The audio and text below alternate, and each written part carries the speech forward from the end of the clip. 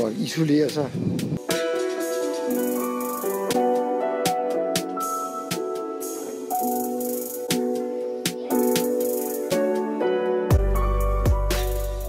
Ensomhed er et stort problem i Danmark.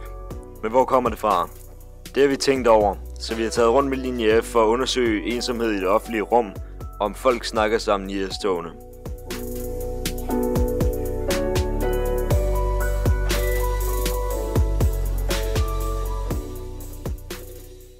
Nogle gange kan man godt være heldig, hvis man sætter sig ned, og så kommer der nogen, man ikke kender, og så kan man da godt snakke lidt, men det er ikke sådan noget, der sker så tit. Øh, folk har ikke lyst til at genere hinanden, eller også så er de bare, det ved jeg ikke, har lyst til at sidde for dem selv. Fordi det vil man helst. Men det, det er ubehageligt at være tæt på. Jeg tror ikke rigtigt, vi kommer hinanden ved. Vi kan ikke finde ud af at sure med den, man sidder ved siden af. Vi spurgte ind til togpassagerernes mening om problemet og hørte om deres personlige erfaringer.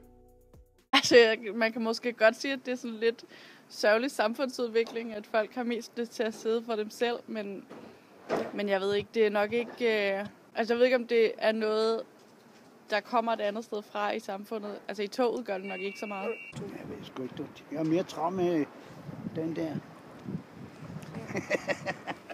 ja, det er noget forfærdeligt. Det synes jeg, det er...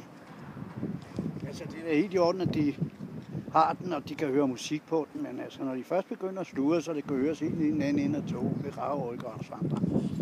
Folk vil lægge mærke til det på den måde, at de tror, man ligger op til en, uanset alder eller køn.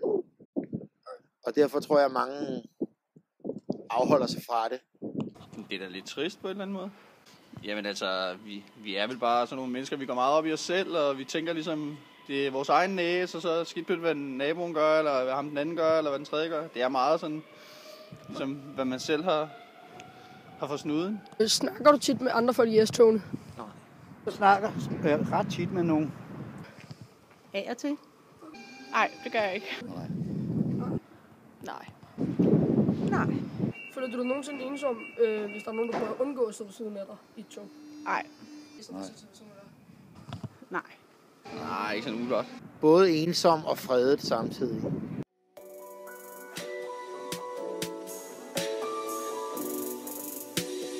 Vi kan konkludere, at folk altså ikke snakker eller sætter sig ved siden af hinanden, men heller ikke føler sig ensomme.